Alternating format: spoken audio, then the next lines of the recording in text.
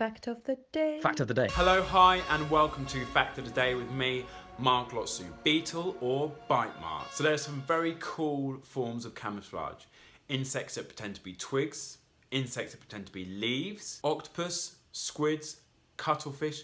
All of these can change their colours and to an extent their shape to match the background that they're in. And in some species they have 30 to 50 different changes. Caterpillars that look like bird poop, no one wants to be bird poop. Crabs that wear detritus, dead stuff that they find on the floor in order to blend in. Flatworms on coral that look like coral. Snake mimic caterpillars. Caterpillars that actually look like the head of a snake. Crab spiders that are camouflaged as flowers. The list goes on and on and on and on. But now there are beetles that camouflage themselves as the bite marks that they leave on the leaf. So check this out. The beetle actually bites and scrapes and eats the leaf and then it looks like the bite marks that is actually left on the leaf. Genius! Fredric Vencl and his colleagues from Stony Brook University in New York they couldn't properly pick out skeletonizing leaf beetles on heavily chewed leaves, and they thought, why is this? So they looked at photos of 119 different species and compared them to size, shape, and color of the bite patterns that they left. And they found that for most species, the beetles actually resembled their own bite marks.